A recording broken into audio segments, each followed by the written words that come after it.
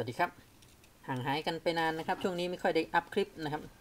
วันนี้กลับมาก็ มีสมุนไพรตัวหนึ่งนะฮะที่น่าสนใจมาฝากก็คือ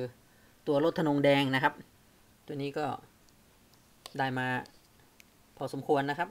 นะฮะก็มีคนสนใจกันหลายคนนะครับ อยากได้นะครับ เอาไปติดบ้านไว้นะครับ แก้พิษงูนะครับ แก้พิษงู แก้พิษเมาเบื่อนะครับ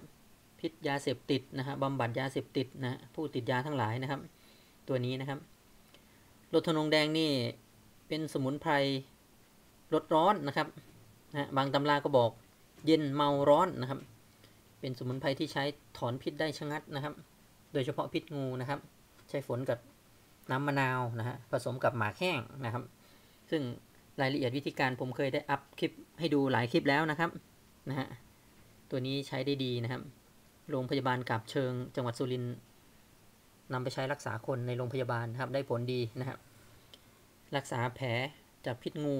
นะฮะไม่ต้องตัดขานะฮะแผลพวกแผลแผลเน่าแผลอะไรมันจะไม่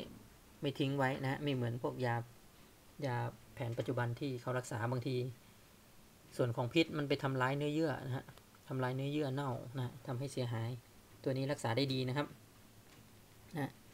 ใครสนใจตัวนี้ก็ทักกันมาได้นะครับสำหรับรถธนงแดงตอนนี้ก็ได้มาพอสมควรอยู่นะครับ หายากนะครับนะตัวนี้ใช้พันดอกแดงนะครับ ถึงจะใช้ได้ผลนะฮะนะวันนี้ก็เลยถ่ายมาฝากกันนะใครอยากได้ก็ทักกันเข้ามานะครับแอดไลน์มาก็ได้ครับครับ สวัสดีครับ